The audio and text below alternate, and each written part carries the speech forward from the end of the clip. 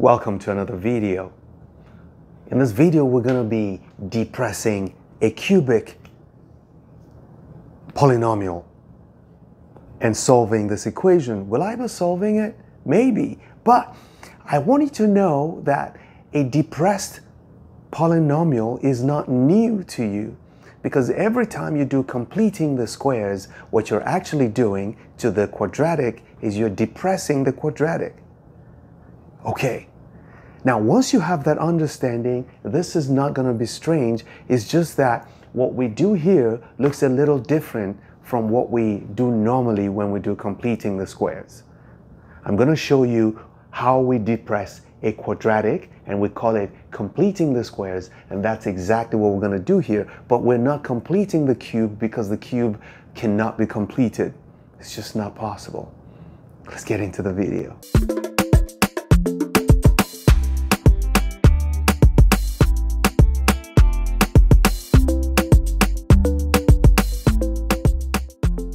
Before I show you how to depress a cubic, let me show you how to depress a quadratic. We call it completing the squares.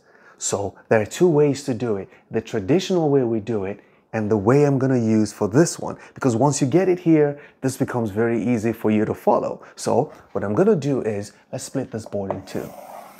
Boom. Split in two. Now, look at this.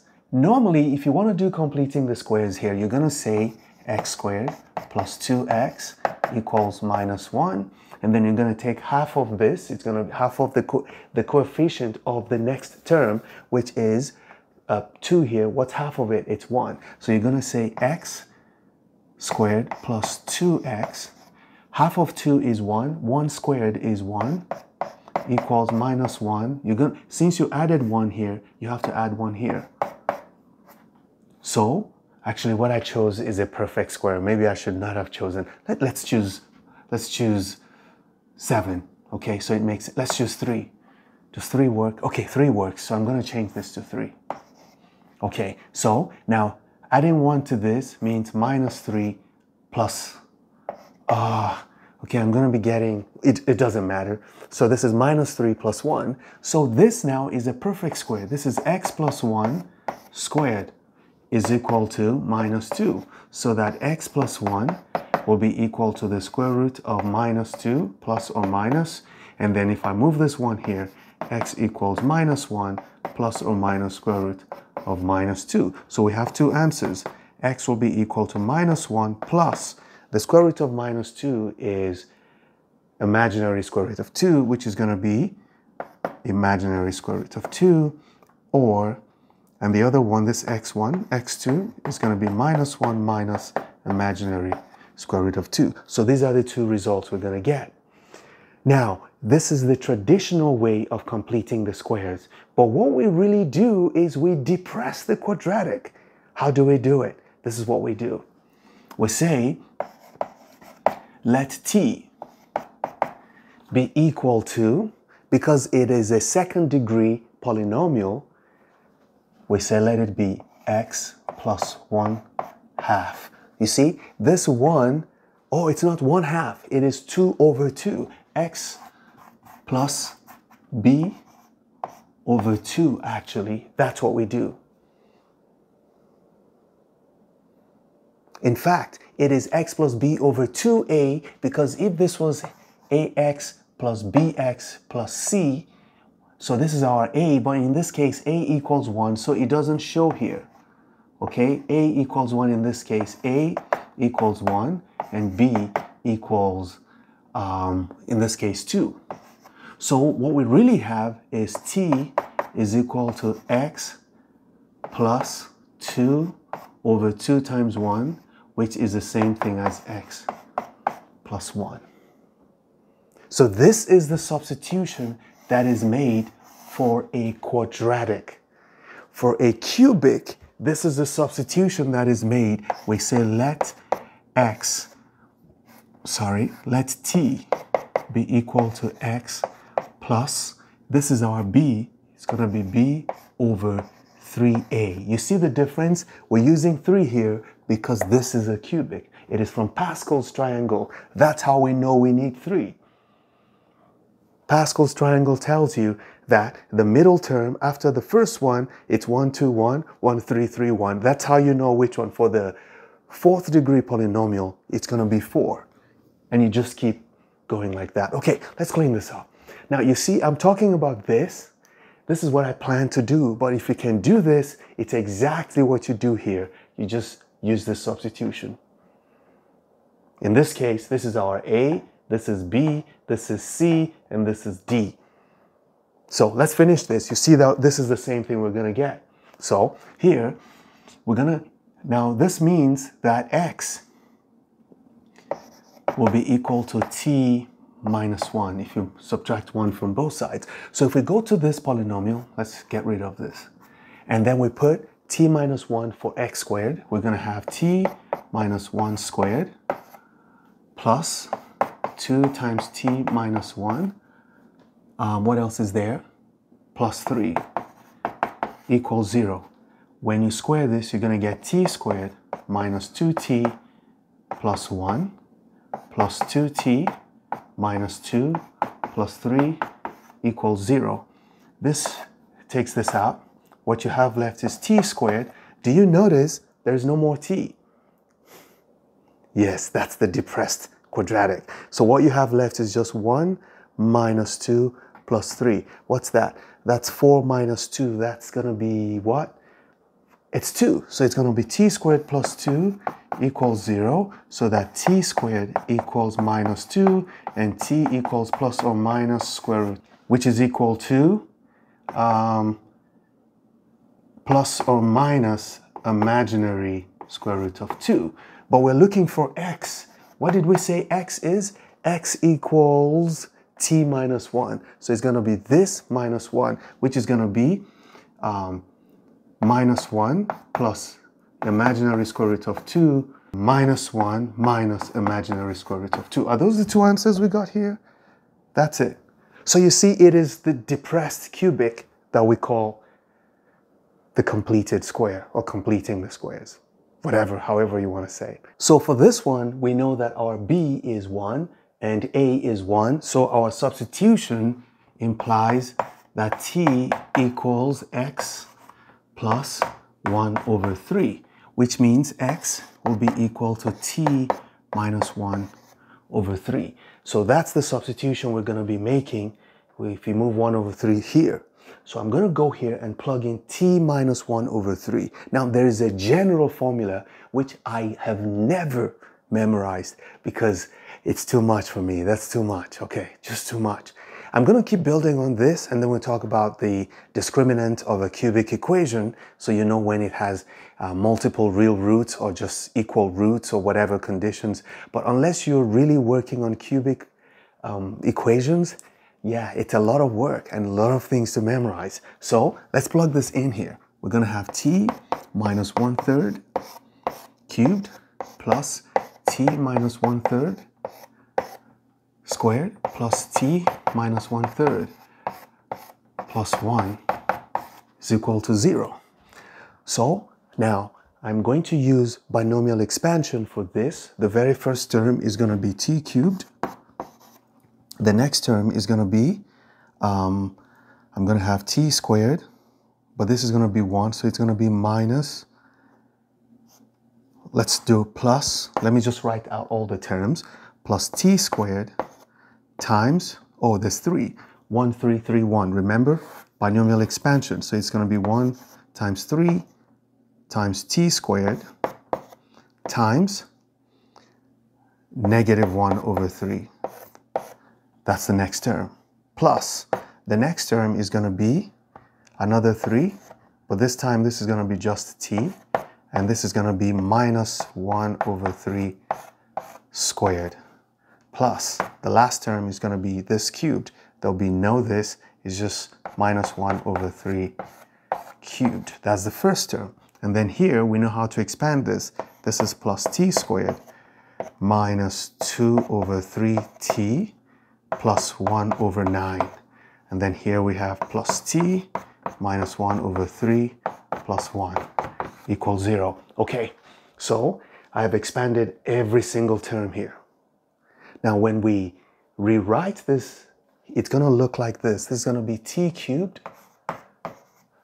Now this here will be, this 3 cancels this 3, so we have minus t squared. Here it's going to be this 3, this is 1 over 9, and that's going to be 3, that's t over 3, 1 third of t, plus 1 over 3t. If we go here, this is going to be one, minus 1 over 27. If we go here, this is just plus t squared. If we go here, this is going to be minus, yeah, it's just minus 2 over 3t. Here, plus 1 over 9. Here we have plus t. So everything else is just plus t. And I can actually put these two together. That's going to be plus 2 thirds. Okay, so as you can see, the t squared term is automatically eliminated. Minus t squared plus t squared. So we have t cubed. And then all the terms that have t are 1, 2, and 3. And the numbers are, that's plus 1 over 3 minus 2 over 3 plus 1, like that, t. And then all the constants are, let's put the positive one first. Let's put these two together. That's plus 1 over 9 plus 2 over 3 minus 1 over 27. Okay. We just got our depressed cubic, 20 over 27. We just got our depressed cubic. so for Cardano's formula, this is P and this is Q. So can we solve this? Yes, we can find it. Now, I saw some comments about, oh, you can only get the real, you can't get the imaginary. Well, Cardano never knew about imaginary numbers. So his formula was meant to compute the real numbers. But as soon as you get one answer, you can get the other two. If you remember the cube root of unity, that's how you get all the other formulas. As long as what you have here are real coefficients, your, your cubic will always be just some guy that goes this way. Look, you can only cross the x-axis once. So you'll only get one answer from Cardano's formula, but you can now get the complex answers using just basic multiplication. Just multiply your answer by two different complex numbers and you get your answers. And that's if there's only one real root. But if you have more than one real root, then there's a problem because Cardano's formula is not going to give you anything real. And that's even crazier. Okay? So the reason why this formula is not popular in the classroom is because many of the answers you get, you'll have to use a computer or a calculator to generate it. So you might get the expression, but not the actual value. Even this is hard to compute. But I know this could be factored even from the beginning. You can factor this. So we already know one of the answers is x equals minus 1. Okay? So, but let's use Cardano's formula using this and see where we get to. So by Cardano's formula, we have t will be equal to the cube of minus q over 2. So it's going to be minus 20 over 27 divided by 2. That's going to be minus 10 over 27. I'm already using the formula, okay? Plus the square root of, this is going to be the same thing, q over 4 this time. So it's going to be q squared over 4, which is 400 over 27 squared. Over 4 means you multiply this by 4. Okay? Plus p cubed, this is gonna this cubed is gonna be 8 over 27, okay, divided by 27. So it's gonna be 8 over 27 8 over 27 times 27, so 27 squared. But this 4 will cancel this 4, so we have this to be 100. Now I'm going to write the other one, which is exactly what we have here. It's just that there's a minus sign. So t equals the cube root of plus minus 10 over 27 plus. If you look at this, they have um, the same denominator. And if you take the square root of it, it's just going to be over 27. And 100 plus 8 is 108 with a square root. Okay, here we have the cube root also. Cube root of whatever you have here. Let's just write it. Minus 10 over 27 plus the square root of, no, this would be minus now. Minus the square root of 108 over, that's all I want to write, over 27 squared. Okay, so we're going to have minus 10 over 27 minus square root of 108 over 27. Ah. See, clearly, based on what we have, you can pull out this 1 over 27 because we know the cube root of 1 over 27 is 1 over 3, right? The same thing here, we know the cube root to be cube root of 1 over 3. So what we have right, 3 minus 10.